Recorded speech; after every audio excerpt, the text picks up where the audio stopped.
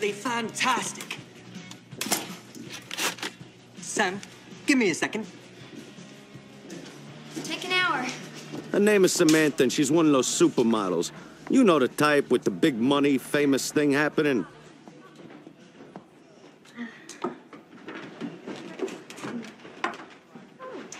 A book? Amazing, isn't it? I can actually read and wear a bathing suit at the same time. Sometimes I even do math. Sorry.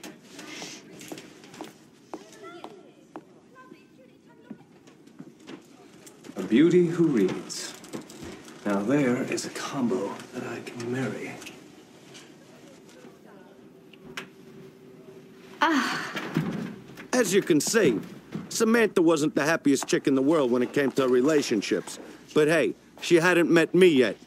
You hear? What do you think he did this time? Sam, wait. This is for you. Another present I wanted. It's not from me, it's from your sister.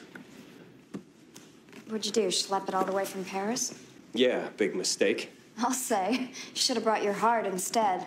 Then you would have had to find it first, and Who else do you know that's gonna give you a $10,000 Rolex, hmm? a Rolex is not love. I'll mail it to you.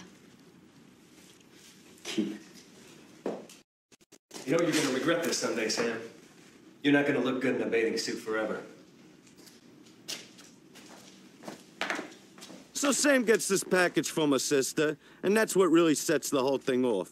Because the sister tells Sam to bring this package to Portland, Oregon, where she'll meet her.